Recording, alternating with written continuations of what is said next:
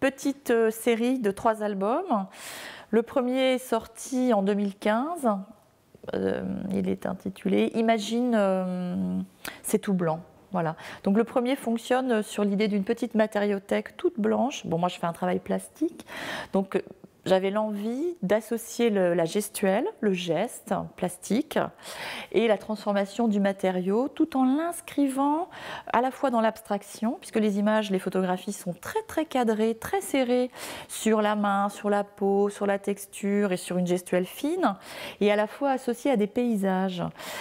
Tous les albums fonctionnent vraiment sur un jeu de, double page, entre une image très très cadrée sur la main et un paysage où on retrouve comme ça une dispersion de cette matière blanche et une ouverture complète sur l'imaginaire. Alors Devine fonctionne, le second fonctionne davantage sur des petits matériaux. Euh, euh, de la maison, on va dire, mais comme une sorte de, petite boîte euh, magique euh, d'antan où il y aurait des rubans, des cailloux, c'est-à-dire des petites choses de rien. Moi, j'aime bien le principe qu'on puisse être totalement imaginatif et créatif avec trois fois rien.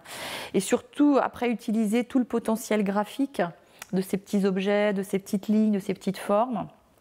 Donc il y a des rubans, il y a des plumes, il y a des cailloux, il y a du papier qu'on peut froisser.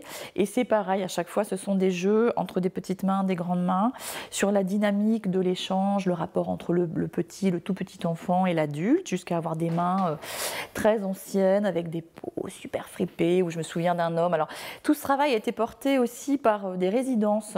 Ça a été euh, l'occasion pour moi aussi de pouvoir photographier des gens.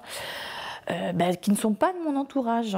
Donc, bah, là, je me souviens très bien de ce monsieur qui était un, agriculteur dans l'Aveyron et qui avait des mains, mais euh, c'est pas une plaisanterie, je pense des mains de 25 cm de long, immenses et avec une peau magnifique, une sorte de peau comme de l'écorce, une peau d'éléphant. Donc ça raconte plein de choses. Et donc je voulais que les mains et la texture de peau viennent s'intégrer dans ces albums euh, au titre vraiment euh, de, de, la matière, hein, qu'il puisse y avoir une correspondance entre les matériaux manipulés et puis les mains. Et donc ce petit dernier, c'était hum, difficile pour moi de ne pas travailler sur les mains et d'éviter le, le, fameux album de comptage, dans la mesure où les mains sont servent complètement de support au comptage chez les très jeunes enfants. Alors, je, ne suis pas une fan du tout des livres de comptage, j'en ai aucun à la maison.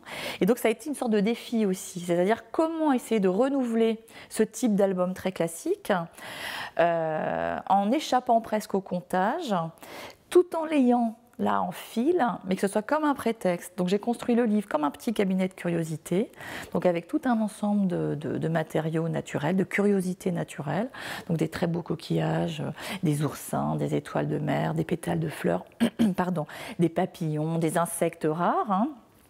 J'en ai, pris plein chez des rôles, enfin j'ai fait toute une collection de tas de petites choses comme ça. Et après, l'idée, ça a été de les mettre en scène euh, avec des équivalences mathématiques. Non pas on compte 1, 2, 3, 4, 5, 6, 7, 8, 9, 10, parce que ça, c'est pas compter, ça, c'est la comptine numérique. C'est pas du tout la même chose. Il y a une différence énorme entre apprendre à compter, qui est de quantifier, et de maîtriser la comptine numérique. Les enfants à 2 ans ou 3 ans en général, ils savent la comptine numérique, mais ils savent pas compter. C'est pas la même chose.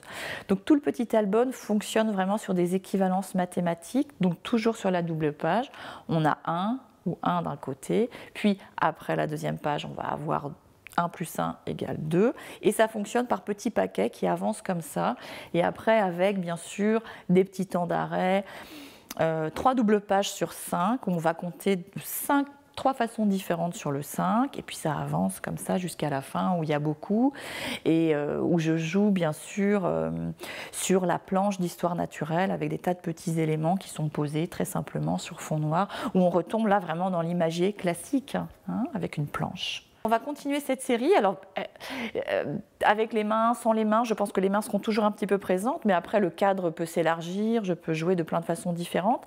Là, je prépare un, nouvel album qui sortira au printemps l'année prochaine à partir de portraits de portraits d'enfants et tout un travail autour euh, des fruits, de la gourmandise. Donc ça, c'est un projet qui va finir, qui, est fini, qui va sortir en 2018. Et puis plein d'autres projets aussi, mais plus plastiques, hein, autour du pain, voilà. D'échapper au réel, de jouer avec le réel. Bon, moi j'ai un travail, je ne suis pas du tout dans une photographie euh, euh, d'information ou une photographie de reportage ou une photographie, je me situe euh, davantage dans une photographie plastique. Donc je fabrique des objets, je les... Je travaille sur la forme, sur le volume, sur les couleurs, sur les textures. Et donc la photographie est pour moi à la fois une façon de mettre en scène ce travail qui est très souvent éphémère, donc au même titre que du land art ou des choses, donc la photographie, elle arrête à un temps donné. Et puis la photographie, c'est aussi euh, un outil fantastique, c'est-à-dire que les, les, les, les, possibles et le potentiel plastique est énorme.